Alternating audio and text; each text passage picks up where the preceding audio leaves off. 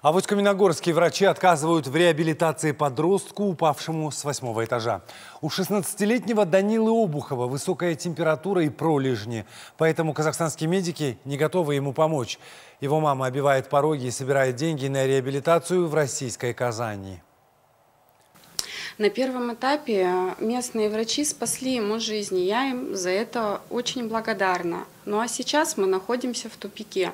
Мы и в Астану обращались, и в Алмату обращались.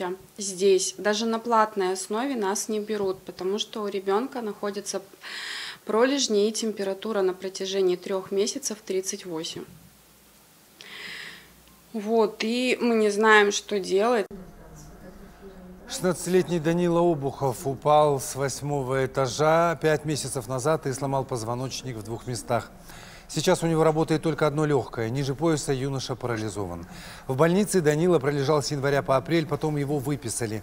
Из-за пролежней температуры казахстанские клиники его не принимают на, ре... на реабилитацию. Мама Данилы уволилась с работы, чтобы ухаживать за ним. Приходит массажист, но этого мало. Даниле готовы помочь в Казанской клинике. Там могут провести реабилитацию, а затем операцию. Есть шанс, что она спасет ноги юноши.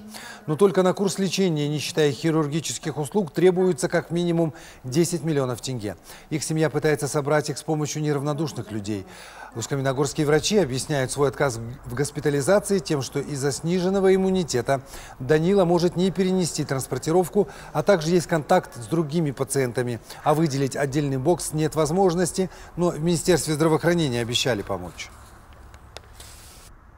Согласно приказам, а, которые существуют в Казахстане, да, а, по оказанию реабилитационной помощи а, детям с противопоказаниями, они у него есть, это э, лихорадка и пролежни, которые имеются, мы данную э, ре, реабилитацию не можем сами проводить, или и центры, которые они хотели э, поехать в Астане или в Алмате, они ему отказывают.